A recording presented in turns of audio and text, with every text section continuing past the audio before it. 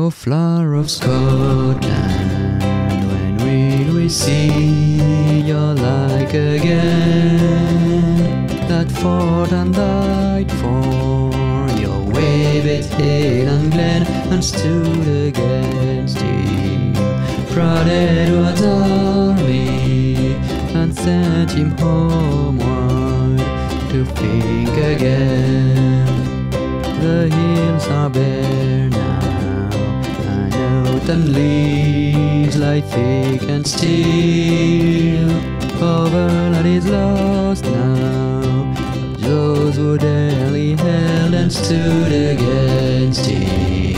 Brought Edward's army and sent him homeward to think again.